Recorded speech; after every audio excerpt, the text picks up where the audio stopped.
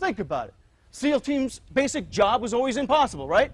My job was what? To jump out of a perfectly good airplane, to fall into the ocean, okay? Get in the ocean and swim seven miles with a pack. Then I put that pack on my back, I hump through the desert or the jungle for 20 miles to get to a place where some motherfucker wants to shoot me. That's stupid, right? Oh, and I forgot. I got paid $24,000 a year for this job. For some of you, that's a watch. okay? All right? But I love that job. I love that job. I always felt like a man after finishing that job. To go through adversity, to face those challenges, to move through all that molasses, that drag parachute of doubt and second guessing, that drag parachute of that quitting conversation, that insidious conversation that tries to diminish you and what you're capable of being. That is when I felt the most complete as a man, when I challenged myself. Not dead, can't quit. Not dead, can't quit. It's just that simple. People want to make it more complicated.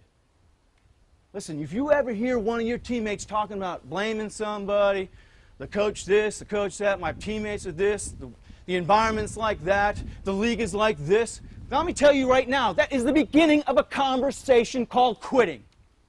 Quitting on yourself, quitting on your teammates, Right? That's where it comes from. It's a very simple conversation, but it sounds completely reasonable at the time, and you can get a bunch of people to agree with you. Right? Accomplishing your mission, hitting your target no matter what, that is completely unreasonable. It goes against logic. It goes against odds. It goes against reason. You said you were going to do it, therefore, no matter what, you will do it. No matter what. See? Hitting your target, working together as a team, that's all about being unreasonable. Not finding an excuse not to be part of a team. Not finding an excuse not to accomplish your objective. That's the truth. It's just that simple. So, I want to speak one quick second more about team. All right? People say there's no I in team, okay? But guess what? Is there anybody here that doesn't want to be the man when somebody points the finger and say, you know what, I can do it. You can count on me. You can count on me. If you need something to do, you need the impossible done. That's what I thought about in SEAL Team. That's why I became a sniper. That's why I went into all these things. That's why I taught hand-to-hand combat. That's why I taught land, mountain, Arctic warfare. I wanted to be the guy the skipper could turn to and say, listen, we need a guy who knows what he's doing to go here and do this job. I wanted that. I wanted that with my family. I wanted that with all my friends. That when they needed something, when the chips were down, they could count on me. They could point that finger at me. Who do you want to be? Do you want to be the guy that when the, when the chips are down, they can point that finger on you and they can point it and they can count on you to get the job done? That's a question. I don't have the answer for you. But I want you to get this. Inside a team is a very simple thing. It's very subtle. They say there's no I in team, but there is at me in team. It's subtle. It's not obvious. See, the team comes first. At me is second. But guess what? If you need somebody, do you want to be the guy they can point that finger at? Coach, point that finger at me. Buddy, you point that finger at me. Teammate, you point that finger at me and I'll deliver. Do you want to be that man? Or are you going to let your excuses, your quitting conversation get in the way of what you're truly capable of being? When the chips are down, when the odds are against you, when it seems impossible, you've got every reason to quit. Are you going to be the one that has the guts to show up?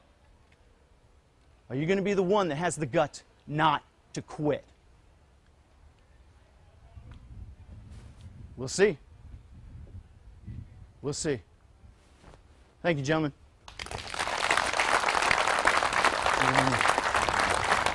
Thank you,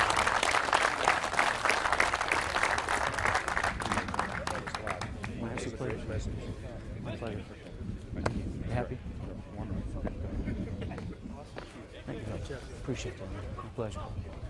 My pleasure, man. My absolute pleasure. Richard Mack, pleasure. pleasure. Thank you so much, sir. I appreciate that. Thank you very much. I appreciate it. Thank you, man. Thank you. Thank you so much. Like rock, like a little rock. Thank you so much. I appreciate that. Joe Avezzano, very nice. It's a pleasure. Thank you so much. I appreciate that. SEAL Team 1 and 2. These guys in San Diego. Fred Biletnikoff, I'll tell you what, that was the best, best thing I've heard anybody say to a team. Thank you so much, You sir. That is you're so welcome. nice. Thank you so much. Thank you so much, I appreciate it. Thank you so much for coming out, sir. I appreciate that. I met a bunch of guys from TCF Team 5 a couple years ago. Party in town. So quarterback right here. Rich, how you doing, Rich? Hey, thanks for all you do for our country. I appreciate that. Thank you so much, sir. I appreciate really that. appreciate you setting the team. It's awesome. Uh, thank you, man. I appreciate that. It Really means the world admire coming and from respect you. guys like you, man. It's awesome. We all, we all want to be, you know, we all want to serve some way, how- somehow, you know what I mean? We do Yeah. a little different way. But, Exactly. You are but, serving. No, I know, Exactly. but it's, it's great. man. It's awesome. Thank you, brother. I appreciate that. It means the world Thanks to for coming out, man. Thank you so much, brother. I appreciate that. Thank you for that, man. Oh, that's my pleasure, man. My absolute pleasure. Are you like a SEAL forever? You should become Pretty SEAL. much. It's a lifetime membership. Yeah. I saw the movie G.I. Jane. Everybody anything like that? Or no? that was powerful. A little bit. Was it a little bit Uh, like with, that? without the G.I. Jane part? Yeah. Okay. That, that was powerful. Thank you so much, man.